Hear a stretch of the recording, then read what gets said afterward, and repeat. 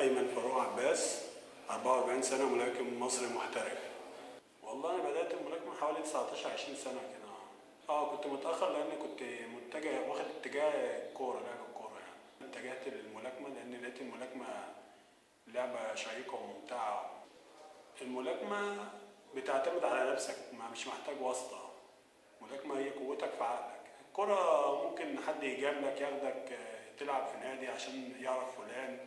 يعرف الكابتن فلان بيجاملوا بعض يعني كتير. فأنا لما لقيت مجاملات فأنا اتجهت للملاكمة لأن الملاكمة هتعتمد على نفسك مش محتاج ما حد يجاملك.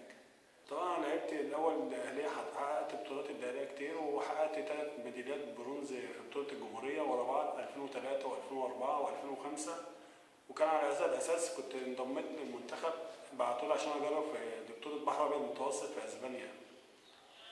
آه، لأن أنا كنت ثلاث سنين آه، بحقق ميداليه في بطولة الجمهورية بالدرجة الأولى.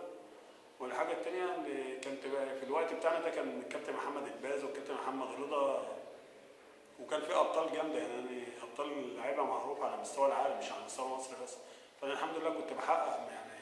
والمنصورة لما كان في لاعب من المنصورة يجي في الوزن ده وفي المرحلة ديت يجيب ميداليه فكانت حاجة كويسة يعني.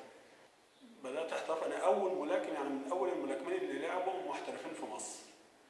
بدأت سنة 2004 أو 2005 كان في بطولة تنشيطية للمحترفين ولعبت مع البطل الكبير آه، كابتن تامر البرعي طبعا.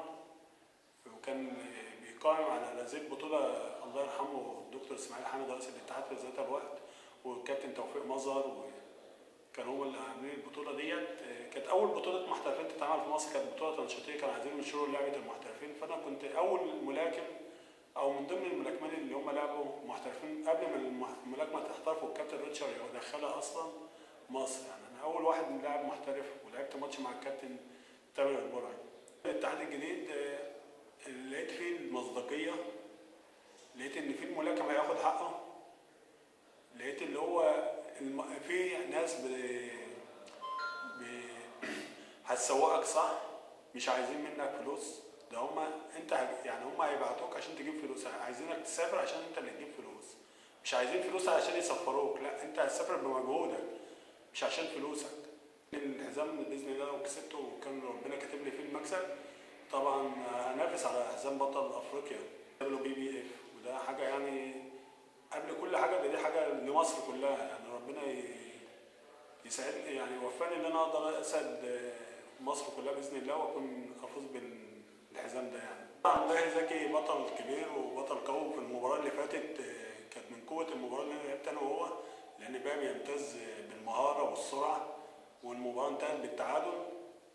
فده بيدل إن المباراة كانت قوية المباراة تطلع تعادل فده يدل إن المباراة كانت قوية بين- بينه وبين باقي. فأنا طبعا باقي الواحد يعني إن شاء الله ربنا يسهل بيلعب بطل قوي بطل يوصله في حتة تانية. يعني بطل بيخلي الماتش يطلع لما بتكون بتلعب بطل مستواه عالي بيخلي الماتش بيطلع حلو. وبقى من الناس اللي من الأبطال يعني اللي لهم اسمهم وإن شاء الله ربنا يسهل وتبقى مباراة حلوة. المكسب الوحيد في المباراة دي سيبك من الحزام والكلام ده.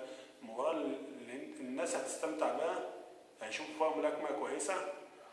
إيه، والصداقة بعد المباراة هو المكسب اللي إحنا الناس تبقى أصدقاء بعد المباراة الاثنين بينافسوا مع بعض على الحلقة وبيضربوا بعض والخسران هيهني الكسبان والكسبان. طبعا هيواسي الخسران يعني. كابتن باقي طبعا ده أخ عزيز يعني وهو بطل كبير. وإن شاء الله أتمنى ال- الصداقة اللي بينا تزيد. وأتمنى طبعا الفوز عليه يعني بإذن الله.